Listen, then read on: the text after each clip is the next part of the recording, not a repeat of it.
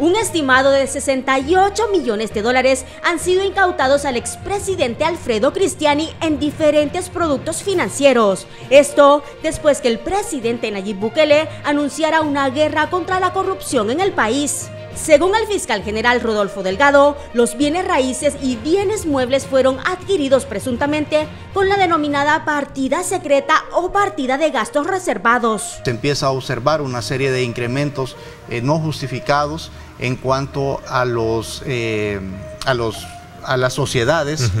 Eh, va incrementando poco a poco su patrimonio, se van adquiriendo bienes, siempre bajo la, bajo la estructura legal de las sociedades anónimas. Detalló que los activos incautados al exmandatario servirán para mantener la operatividad de las empresas, tales como las droguerías, mientras avanzan las investigaciones.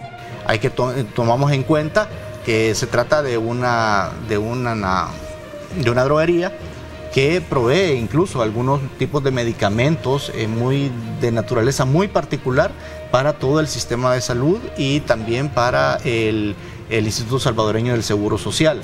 Agregó que la lucha contra la corrupción no solo está dirigida contra los exfuncionarios públicos, sino también contra las actuales gestiones. En este sentido, reveló que este 2023 se han recibido 270 denuncias de presunta corrupción en instituciones públicas. Porque no se trata de que solamente voy a perseguir a, tus corruptos y, a los míos no. Y a, los, y a los que están en, en, administración no.